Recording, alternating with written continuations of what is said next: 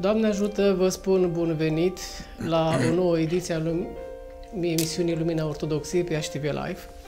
O emisiune realizată în colaborare cu Centrul Cultural Misionar Doxologie al Metropoliei Moldovei și Bucovinei. Luna octombrie pentru noi ieșeni este o lună deosebită de celelalte, deoarece în data de 14 octombrie numeroși pelerini, foarte mulți pelerini vin și ne vizitează orașul, dar nu pentru oraș vin, cât vin pentru a arăta prețuirea și cinstirea față de Sfânta Cuvioasă Parascheva. De aceea, mi-am propus astăzi, ca împreună cu invitatul, să discutăm uh, despre de ce noi cinstim Sfintele Moaște. Și ca invitat avem astăzi pe părintele dr. Liviu Petcu, cadru didactic la Facultatea de Teologie Ortodoxă Dumitru Stăniloae din Iași. Să rămână și bine ați venit! Să rămână! Bine v-am găsit, mulțumesc pentru invitație! Da, întotdeauna când mă gândesc la luna octombrie, vine și mirosul de busuioc, dar și numărul imens de pelerini care vin din fericire în orașul nostru. Și așa cum spuneam, ei vin pentru a participa la evenimentele prilejuite de cinstirea Sfintei Cuvioase Parascheva. Uh, întrebarea de bază, de ce cinstim noi Sfintele Moaște?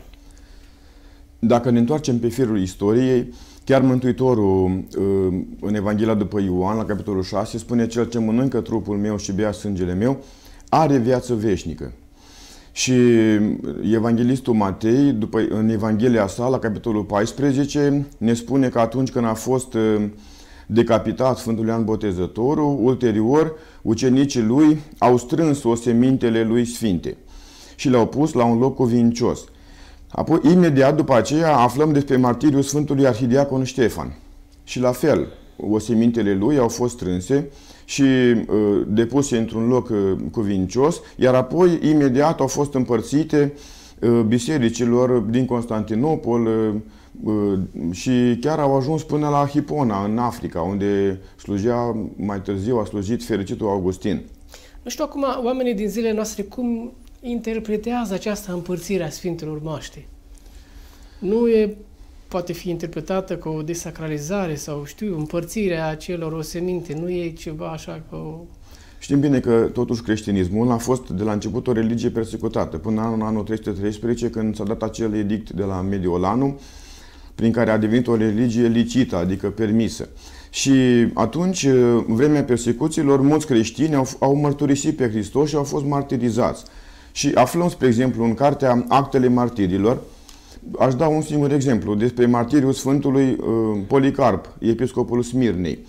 Și spune acolo că după ce Sfântul Policarp al Smirnei a fost martirizat, creștinii au, stri, au strâns osemintele lor uh, cele mai scumpe decât, prețele, decât pietrele prețioase și mai scumpe decât aurul și le-au pus la un loc cuvincios. Așa, așa e descrierea. Așa este descrierea în Actele Martirilor, capitolul 18.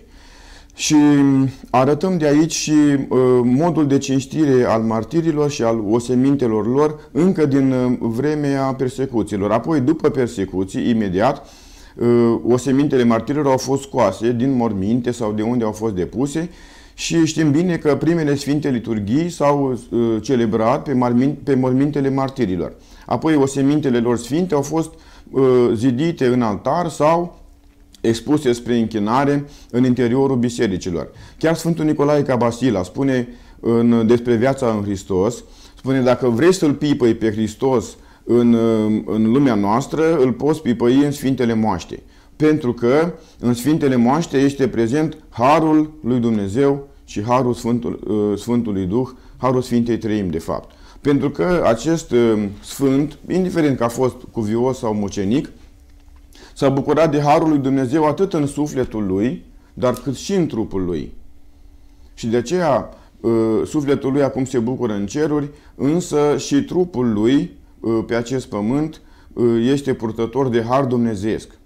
Și, cum spune și Părintele Dumitru Stăneloae, tot ce a avut atingere cu Hristos rămâne mai departe izvor de putere dumnezeiască. Adică tot ce s-a atins de Hristos rămâne mai departe izvor de putere dumnezească. De aceea noi cinstim înseși relicvele sfinte, adică hainele care au aparținut sfinților. Dacă mergem la Lida, în Israel, acum vedem acolo mormântul lui Sfântului Gheorghe, mormântul Sfântului Gheorghe, Sfântului Mare Mocenic Gheorghe, unde ne putem uh, închina, putem venera chiar lanțul cu care uh, acesta a fost înconjurat și a fost martirizat. Acest, uh, acel lanț a fost tropit de sângele mucenicului, de sângele trupului sfânt al mucenicului. Și de aceea, iată, uh, încă dintr-o începuturi, biserica a cinstit rămășițele uh, sfinte ale sfinților mucenici, cuvioși și așa mai departe. Deci nu este o noutate în biserica noastră aceasta, ci încă dintr-un începuturi. Spre exemplu, luăm un alt sfânt din altă arie, din la Mediolanum, uh, Milanul de astăzi, Sfântul Ambrozie, în secolul V. El, uh, într-o scrisoare de asa, uh, spune foarte interesant, epistola 22, spune câte basmale, câte obiecte de îmbrăcăminte care sunt atinse de racla mucenicului, nu devin mai departe tămăduitoare, izvorătoare de putere dumnezească, de har, de binecuvântare. Unele chiar vindecă pe cei bolnavi, alungă demonii și așa mai departe. Adică Sfinții din toate timpurile au recunoscut puterea tămăduitoare, puterea harică a Sfintelor Moaște. Însuși, însuși Sfântul Ioan Gură de Aur, în omiliile la Sfântul Mucenic Iulian, îndeamnă pe creștini, lipește-ți fruntea de racla mucenicului, ia binecuvântare de la racla lui, de la Sfintele lui Moaște, mergi la mormântul lui, vasă acolo și roaie de lacrimi și să vezi că îți va fi îndeplinită cererea. Dacă tu ceea ce ceri, ceri cu credință și pentru binele tău sufletesc. Adică nu este nimic nou astăzi. Creștinii vedeți că și în zilele noastre, când ating nu, de raclă, eu știu, obiecte de îmbrăcăminte, basmale sau cum spunea Sfântul Ambrozie, sunt convinși că ele devin mai departe obiecte cu putere dumnezeiască și tămăduitoare, izvorătoare de har, cum spunea Părintele Dumitru Stăneloae. Acum, pentru a merge și a aduce această cinstire Sfintelor Moaștri, trebuie o anumită pregătire din partea oamenilor, uh, adică, de fapt, vreau să vă întreb, uh, sunt și anumite lucruri pe care ar trebui să le facem noi sau e suficient doar dacă atingem Sfintele Moaște? Odată am fost întrebat uh, cum organizează Mitropolia Moldovei și Bucovinei hramul Sfintei Parascheva și am spus printre altele că Mitropolia nu organizează hramul, noi pregătim hramul. Adică a organiza înseamnă să trimiți invitații, dar vă dați seama că uneori vin sute de mii de oameni în fiecare an la hramul Sfinte Parascheva. Cine ar sta să trimită invitații tuturor? Este o lucrare nevăzută a Harului Sfântului Duh și a Sfinților în viața oamenilor, care invită să vină la ziua lor, cum e și cazul Sfintei Parascheva, să vină să se închine uh, la Sfintele lor moaște. Bineînțeles, pregătirea pentru întâlnirea cu Sfântul începe încă de acasă. Toată această trudă a pelerinului care vine, merge cu trenul, cu mașina, ore întregi, cum vin cu autocarele, stau la rând, 7-8 ore. Întâlnirea cu Sfinții, eu cred că începe chiar de acasă și culminează atunci când ajung la Sfintele lor moaște și se închină. Bineînțeles că uh, fiecare vine cu necazul lui, cu uh, cererea lui către Sfintele moaște. Cei mai mulți vin să mulțumească Sfintei Parascheva pentru că atunci când au fost în anii precedenți s-au rugat la Sfânta pentru ceva și au fost ajutați prin rugăciunile și prin mijlocirea ei. Și atunci este o lume foarte diversă. Dacă stă cineva să uh, vadă pelerinii care trec rând pe rând pe la racla cuvioasei, de la copii mici, la sân, până la bătrâni, uh, tineri, studenți, uh, oameni în toată firea, cum se spune, maturitatea. Adică um, toți aceștia caută ceva, caută sfințenia. Adică uh, noi dacă suferim acum, lumea dacă suferă după ceva, suferă că nu avem atât de mulți oameni sfinți. Și pentru că sfințenia, cum spunea uh, Nichifor Crainic, este împlinirea umanului. Acel om care a ajuns sfânt se aseamănă cu Dumnezeu. A devenit ca Dumnezeu. Chiar uh, cuvântul acesta sfânt în limba greacă este desemnat de cuvântul agios. Și uh, ghe din acest cuvânt agios înseamnă pământ și A e o particulă negativă. S-a traduce motamo nepământeanul. Adică Sfântul este mai mult uh, și-a dedicat viața pentru cele cerești. Nu a pus mare preț pe viața aceasta pământească. Și Sfântul Ioan Gură de Aur spunea, oricine vine la racla Sfântului nu rămâne uh, necâștigat sufletește. Dacă vine bogatul, spune el, și uh, își dă seama că bogăția Sfântului, cuvios sau mucenic, este mult mai mare ca a lui. Dacă vine săracul, își dă seama că durerea pentru că este sărac uh, nu e atât de mare, că vede că și Sfântul n-a avut mai nimic în viața aceasta pământească. Dacă vine un om cu necazuri, cu suferințe, cu boli, își dă seama cât a îndurat un sfânt mucenic, dacă a fost mucenic, câte suferințe n-a îndurat. Dacă a fost cuvios, cum e cazul Sfintei Parascheva, să stai în pustiu Iordanului câțiva ani, știm bine ce cercetă pe acolo, ce asceză mare se face. Își dă seama de că el compară necazurile și asceza lui cu asceza Sfântului și tot el este câștigat. Și bineînțeles că iese de acolo întărit, să nu mai pună preț pe cele materiale, ci să se avânte mai mult spre cele spirituale. Mai ales dacă citește și viața Sfântului și de acolo efectiv află cum să jânduiască viața lui și să dobândească și el mintea Sfinților. Că dacă citim viețile Sfinților, atunci noi dobândim modul de a gândi al Sfinților. Dobândim mintea Sfinților. Nu mai gândim cu rațiunea căzută, ci cu mintea Sfinților. Și dăm răspunsuri lumii de astăzi cum ar fi dat Sfinții dacă ar fi trăit în vremea noastră. De aceea, și când citim viața Sfântului, Sfântul ne și ajută să o înțelegem. Nu numai să o înțelegem viața lui, ci să o și retrăim cumva. Adică devine cumva un dascăl pentru noi către veșnicie. Pentru că ei sunt, de fapt, um, să spunem așa, frații noștri mai mari. Chiar era un profesor uh, de teologie, este uh, domnul Carai Saridis din Atena, și el zicea că la noi grecii uh, sărută sfinții nu doar pe mâini și pe picioare, cum spunem noi în icoane, cum practicăm noi, ci chiar pe față, ziceau ei, pentru că sunt frații noștri mai mari. Frații noștri care s-au îndumnezeit, care au dobândit sfințenia și de aceea ne vor ajuta și pe noi să o dobândim. Mi-aduc aminte, într-o carte foarte interesantă, Patericul secolului 20, cum un părinte grec, Iacov Tsalikis, contemporan, a trecut la Domnul în 1991. El era starețul unei mănăstiri din Grecia și acolo aveau moaștele cuviosului, um, cuviosului Efrem și cuviosului David. Și el odată a fost invitat să meargă undeva într-o localitate unde era o mare secetă de câteva luni, nu mai plouase. Și a fost uh, invitat să ia și moaștele cuviosului David, care a trăit în secolul XVI. Și părintele stareț, uh, de cu seară, îi aprindea candela la moaștele cuviosului David și a spus, uh, cu o mare familiaritate, a spus, uite, știi ce, Sfinte Cuvioase Davide, mâine mergem în sat să facem litanie cu Sfintele tale moaște, să nu mă faci de rușine, să tuni, să faci să plouă, să nu vină acolo cu mâinile goale, zicea el. Adică o mare familiaritate. Și spunea mai departe Părintele Iacov, eu când îi spun ceva la ureche Sfântului uh, David, el îmi deschide linie directă cu Dumnezeu. Foarte frumos. Adică aveau și sfinții familiaritatea lor, părinții, cu acești sfinți. Și iată că așa s-a și întâmplat. După ce au fost cu rugăciunea și cu Sfintele Moaște, acolo în acel sat unde era secetă, bineînțeles că a plouat imediat. Dar și la noi, Sfânta Parascheva, eu sunt din orașul Moinești, de sub Bacău și îmi povestea un protopop bătrân de acolo, a fost și la noi o mare secetă în zonă și au venit moaștele Sfintei Parascheva. Și toți bătrânii ziceau, când, după ce au fost moaștele Sfintei Parascheva, noaptea ploua, lin, lin, mărunt, ziua era vreme bună. Adică, și bineînțeles că dacă citim patericul um, românesc al Părintelui Ioanichie Bolan, sunt acolo concatenate foarte multe minuni ale Sfintei Parascheva uh, pe care le-a surprins Părintele. Odată, spre exemplu, era Părintele Elie Cleopa, de rând, la rac la Sfintei Parascheva, chiar pe 14 octombrie.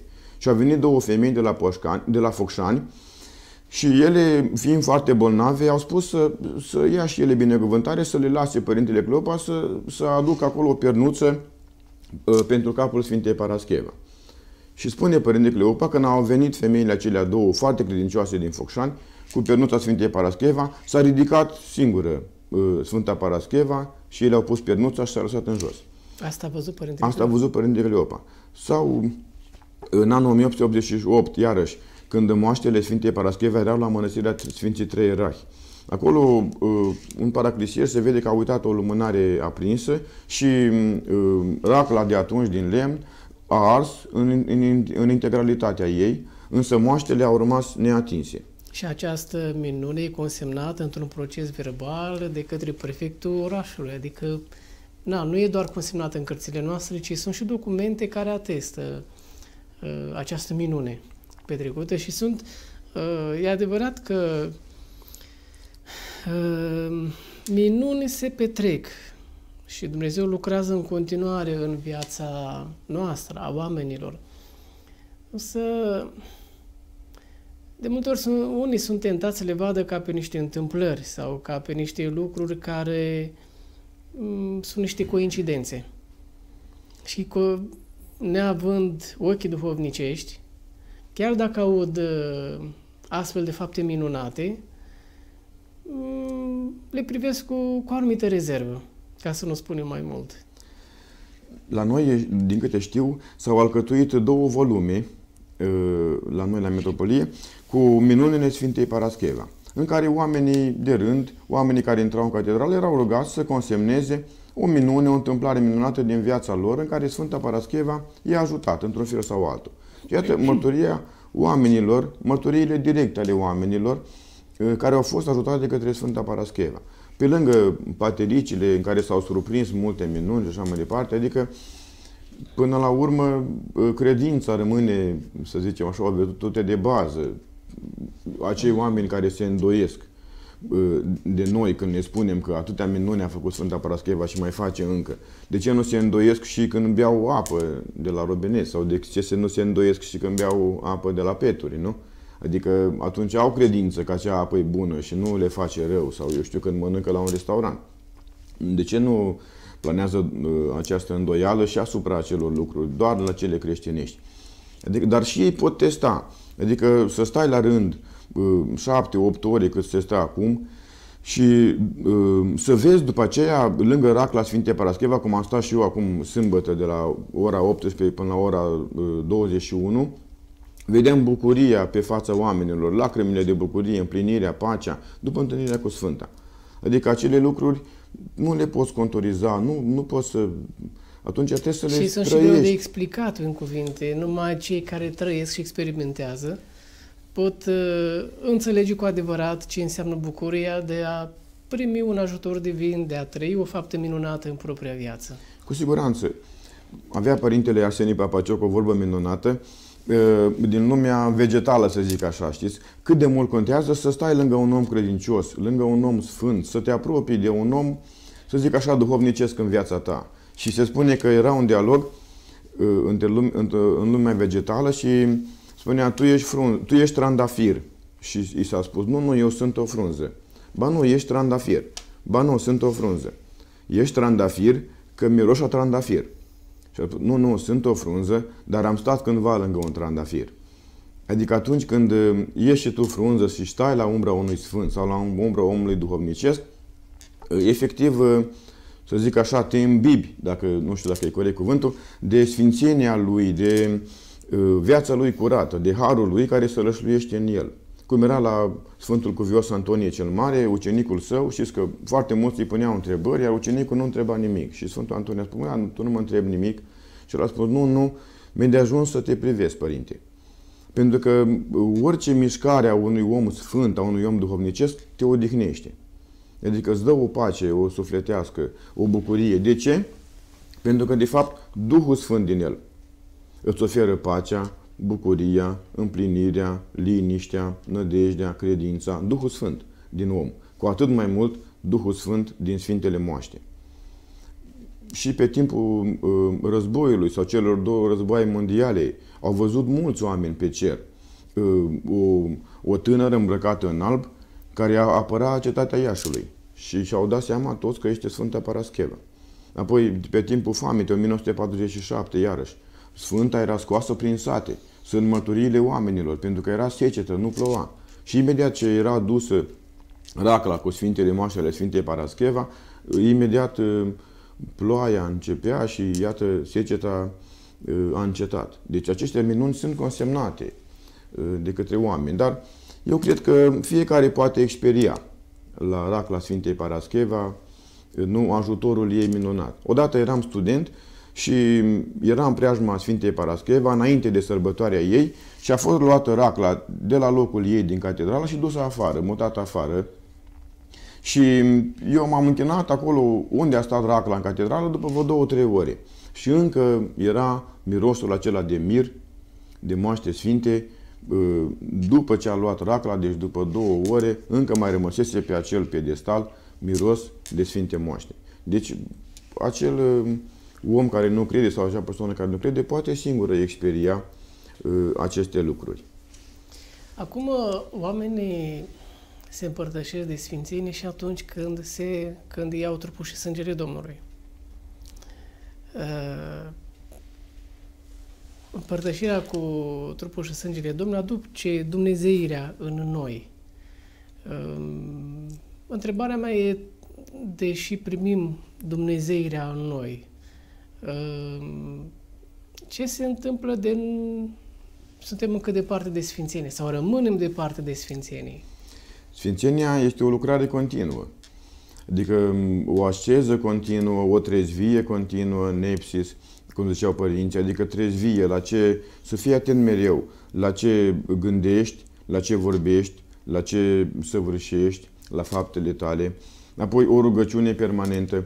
Sfinții și-au unit nu doar mintea prin rugăciune cu Dumnezeu, ci însăși trupările lor uh, au devenit rugăciune, adică se rugau neîncetat la Dumnezeu și toate cuvintele lor, toate gândurile lor erau izvărâte din această unire cu Dumnezeu. Asta e, asta e scopul vieții noastre. Și aș spune că nu doar mântuirea, cum zice noi adeseori, ci chiar în Dumnezeirea.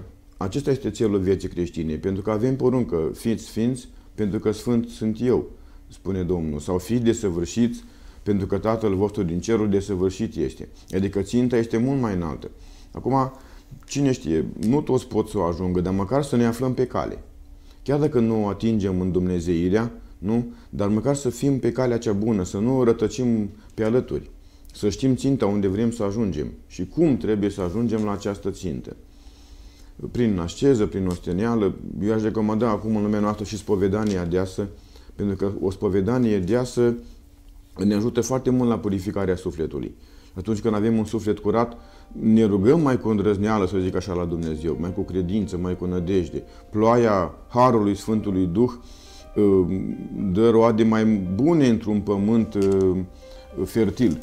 Așa și Harul Sfântului Duh dă roade mai bune dacă pământul sufletului nostru este curat, decât dacă ar fi plin de băruinele patimilor, ale păcatelor, ale egoismului nostru.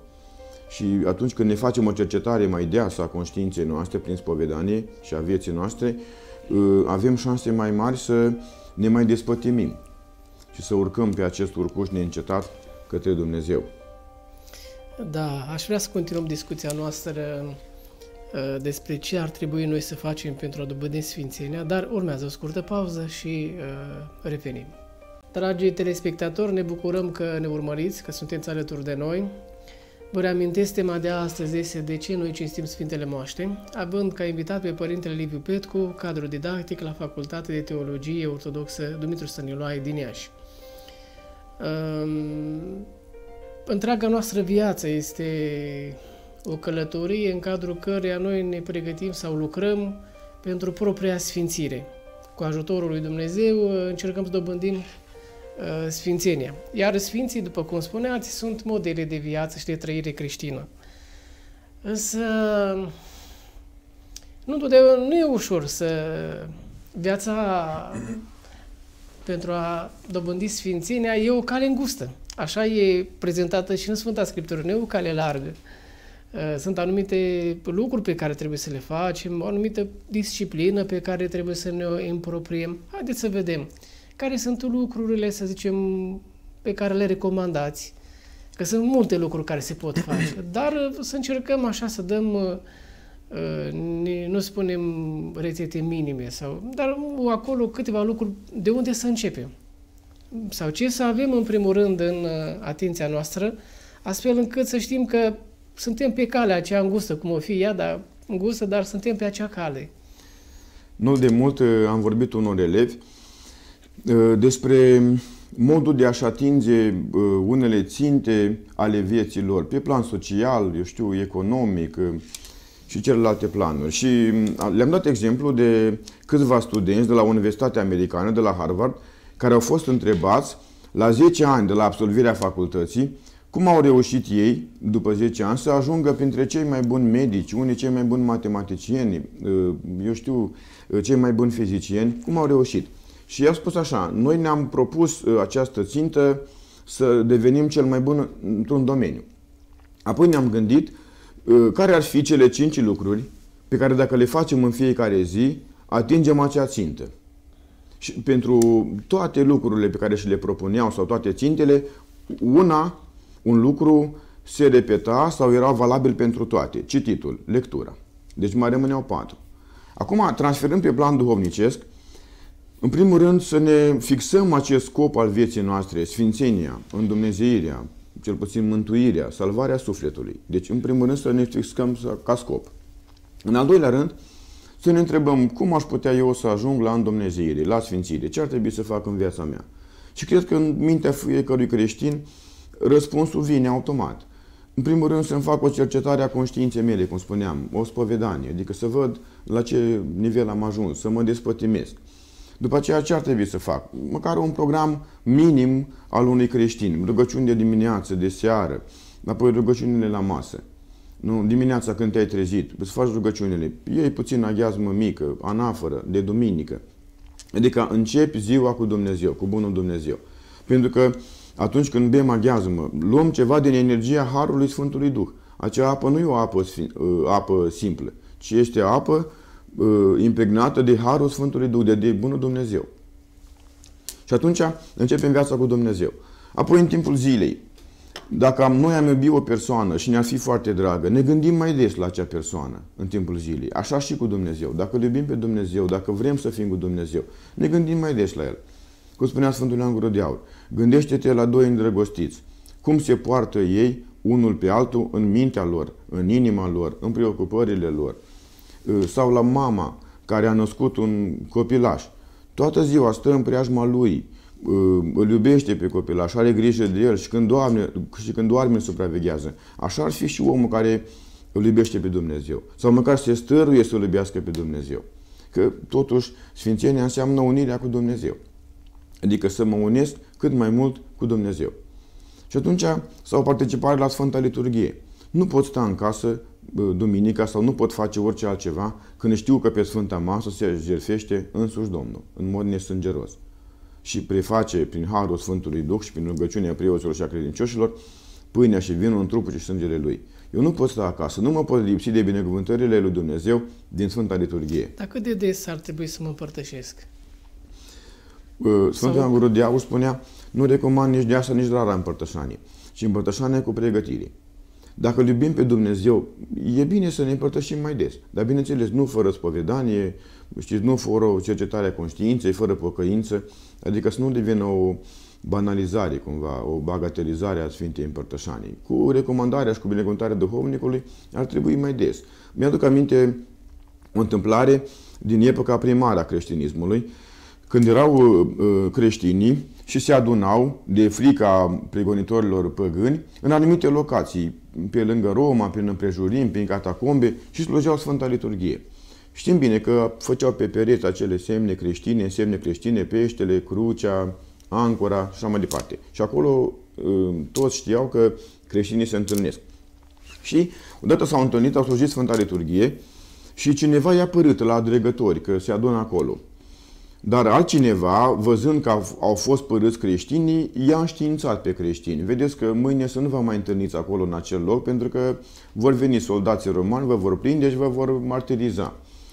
Însă ei au venit cu toții în acel loc. Au săvârșit Sfânta Liturghie, s-au împărtășit, se împărtășeau în fiecare zi. Și acel care i-a anunțat că vor fi, că au fost trădași, că vor fi prinși, l-a întrebat pe unul dintre ei, care tocmai era legat și mergea către dregători să dea răspunsuri și i-a spus, de ce, dacă tot v-am anunțat, de ce ați mai venit aici și în astăzi? Și acela a răspuns și cu toții, în cur, cred că ar fi răspuns, ă, n-am mai răbdat inima în noi să trăim o zi fără Sfânta Împărtășanie, fără Hristos. Adică fără să ne împărtășim cu Hristos, să trăim o zi fără să fim uniți cu Dumnezeu. Da, ei aveau, aveau acea trăire și acea conștientizare a prezenței uh, lui Dumnezeu în uh, sub forma pâine și a vinului, în Sfânta Împărtășane, încât uh, uh, erau dispuși să spună și viața în, uh, în pericol, numai să se împărtășească.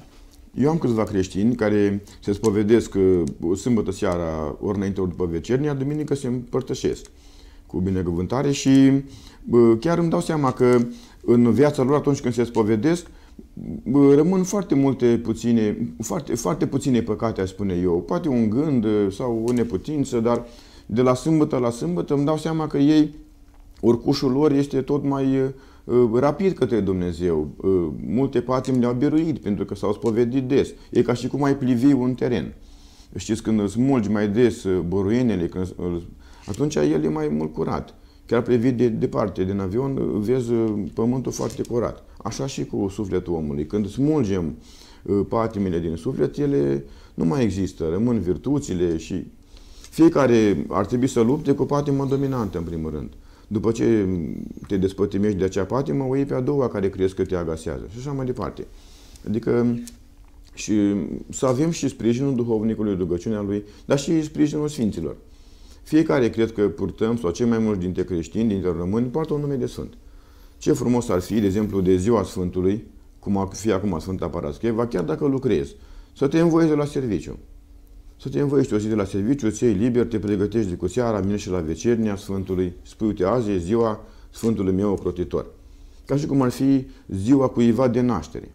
Când te duci la ziua lui, te duci îmbrăcat frumos, te pregătești de cu seara, nu te duci chiar cu mâna goală, iei un buchet de flori măcar sau ceva, așa și la Sfânt. Când e ziua Sfântului tău ocrotitor, ce frumos ar fi să vii la întâlnirea cu Sfântul. Cum cei mai mulți dintre creștini vedeți că vin. Pentru că chiar creștinii primelor secole aveau acest cuvânt natalis. Natalis în limba latină înseamnă naștere. Ei, prin natalis, desemnau atât nașterea fizică în lumea aceasta, dar creștinii numeau natalis și ziua morții, ziua, adică ziua nașterii lor pentru veșnicie. Era tot natalis. De aceea expresia astăzi s-a născut în cer. Adică a trecut la cele veșnici, s-a născut în cer. Și Eminescu surprinde foarte bine. Poetul nostru Mihai Eminescu în Luceafăr spune așa despre oameni, părând pe veci a răsări, din urmă moartea al paște, căci toți se nasc spre a muri și mor spre a se naște. Ce genial! Omul crede că, unii din oameni cred că răsar pe veci aici pe acest pământ, adică cred că viața lor nu are un sfârșit. Cred într-o nemurire, să zicem așa, pe acest pământ. Dar din urmă moartea al paște. Ce cuvânt minunat a găsit poetul. Adică, știți, ne gândim la animalele de pe vară care pasc. Iau iarba de la oaltă. Adică nu iau doar pe cea mică sau pe cea mare. Așa și moartea ne poate paște oricând, de să fim pregătiți. Nu că toți se nasc spre a muri.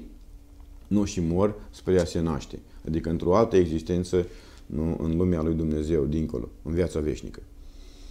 De aceea trebuie să fim pregătiți pentru întâlnire. Că de multe ori mă gândeam și eu că nu moartea ne sperie, deși moartea nu ne aparține, nu e ontologică, nu e ființial. Dumnezeu n-a creat moartea. Chiar Eminescu spunea într-o poezie, de sens într-asta, e întors și ateu, pe palida frunte nu-i scris Dumnezeu. Adică pe palida frunte a morții nu-i scris Dumnezeu. Însă noi ne temem pentru că după moarte urmează judecata lui Hristos, la care nu știi cum vei răspunde, nu știi de dinainte răspunsul. Poate îl poți bănui, dar cei mai mari sfinți, mă gândesc chiar la Sfântul Antonie, în ziua în care se pregătea să meargă la cele veșnice, a ieșit sufletul lui din trup, prin văzduh, și demonii încercau ultimele ispite și ziceau, te-ai mântuit, Antonie, te-ai salvat, ai scăpat de noi. Și el nu zicea nimic.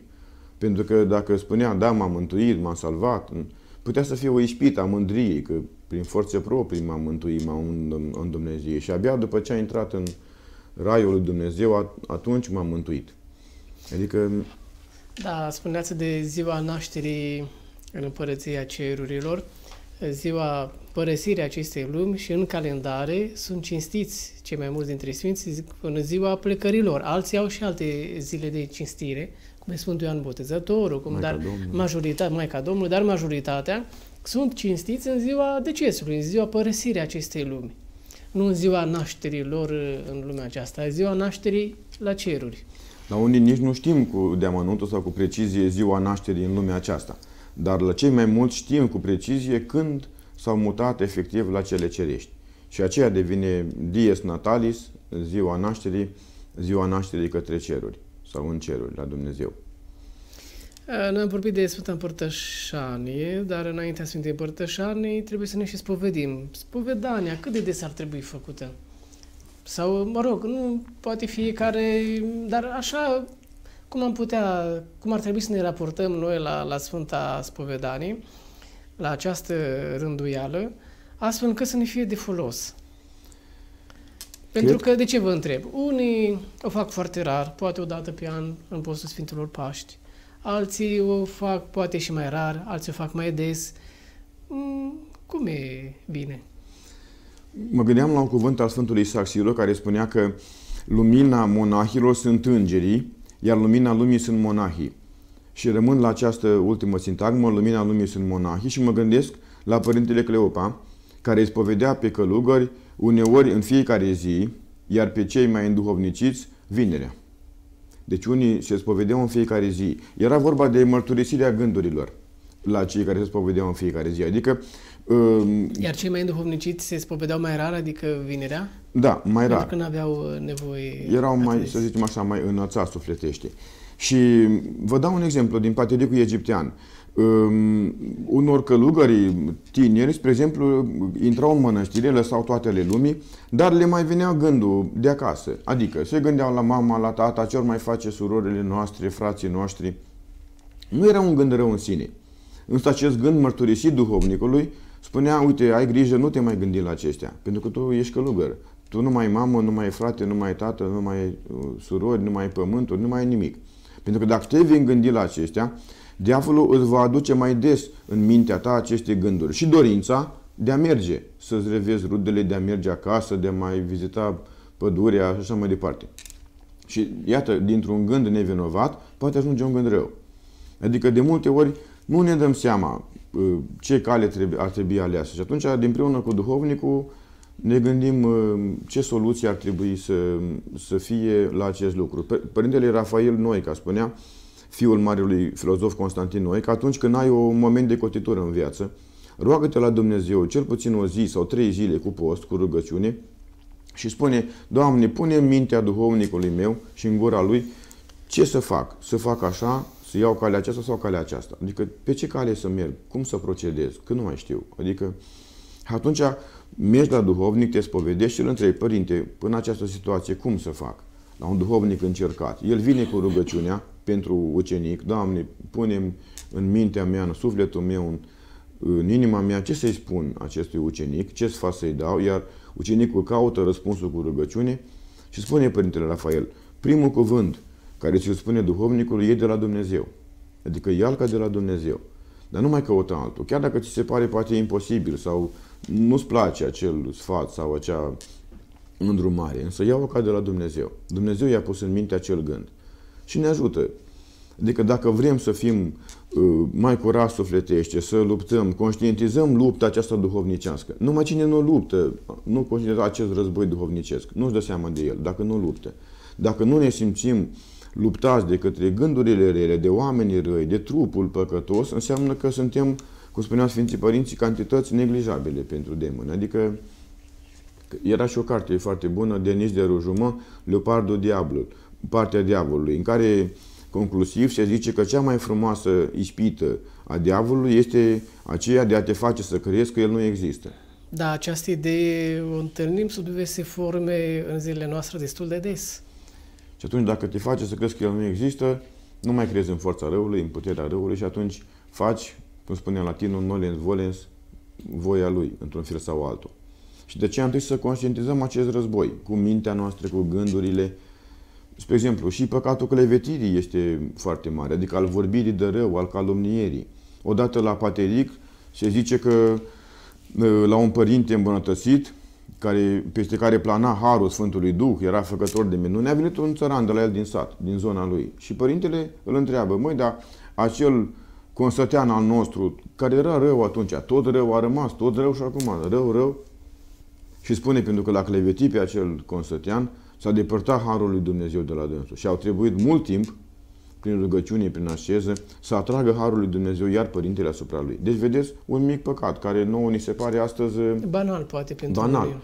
Dar vedeți că atunci când începi să lucrezi cu tine însuți, îți dai seama cât rău poate fi uneori în mintea noastră, nu, în, în sufletul nostru și așa mai departe. E ca și cum ar fi o cameră, știți, dacă este bine iluminată de soare, o raza soarelui pătrunde în cameră, ne, ne dăm seama de micile firicele de praf care sunt jucăușe prin camere. Dar dacă ea are trase obloanele, atunci nu mai vedem nici nu, praful cel mai mare care s-a depus efectiv. Așa și cu spovedania. Când încep să te descoperi lui Dumnezeu, lumina lui îți luminează sufletul. Atunci vezi orice neputință, orice, eu știu, orice mic păcat, orice greșeală și spui, uite, încă nu-s desăvârșit, am și aceasta și aceasta. Sfântul Macarie, egipteanul, spre exemplu, stătea și plângea pentru merele pe care le-a mâncat în copilărie, căzute pe jos fiind. Adică mergea prin sat, vedea mere căzute și le mânca, dar spunea, dar acele mere nu erau ale mele. Și când mi-am duc aminte, tac și plâng. Adică, bineînțeles că acel plâns era de bucurie făcător. Adică atunci când te întristezi pentru păcate, când te păcăiești pentru păcate, Dumnezeu îți trimite Harul Sfântului Duh, pacea lui Dumnezeu, iubirea lui Dumnezeu. Adică nu te lasă așa într-o tristețe profundă, să zic, ci simți energia Harului lucrând.